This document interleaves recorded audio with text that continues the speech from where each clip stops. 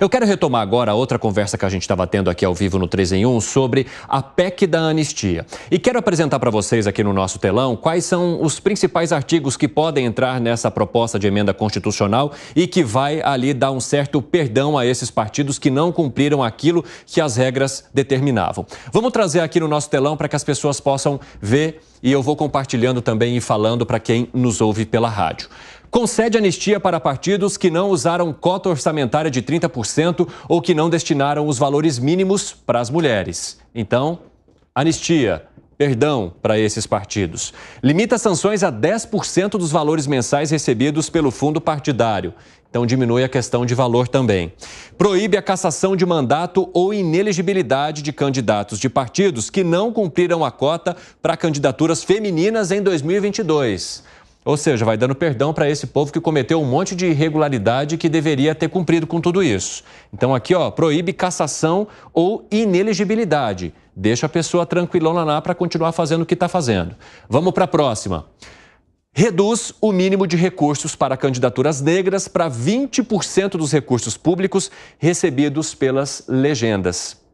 E aí, as críticas. Em carta, as organizações pedem o fim da tramitação da PEC, afirmando que a matéria compromete de maneira insanável o aprimoramento da democracia. Várias entidades se movimentaram ontem e entregaram um documento então ao Congresso falando do absurdo que seria aprovar essa anistia, esse perdão aos partidos que não cumpriram as regras eleitorais nas eleições. Quero trazer aqui para vocês e gostaria de saber de você, Felipe Dávila, qual que é o tema ali que mais te provoca revolta, o que você acha mais absurdo? Se é possível delimitar um primeiro dentro de tantos. Evandro, é o conjunto da obra. O Congresso Nacional aprova as leis. E agora, olha, olha a declaração infeliz desse deputado Felipe Barros.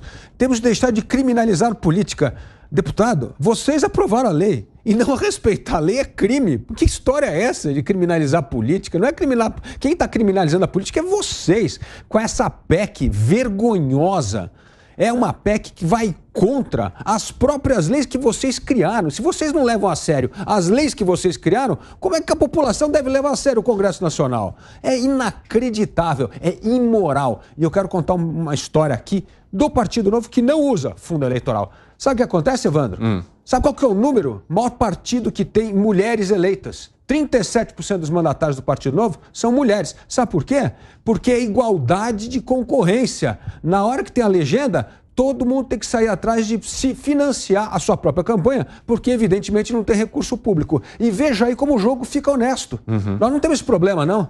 E, e, nós vamos eleger, e agora em 2024, 50% serão mandatárias mulheres. Então, mostra, inclusive, um, um, argumento que o Alan Gani sempre faz aqui, que não precisa de cota, não. O que precisa ter é concorrência, competição e acesso igual aos recursos.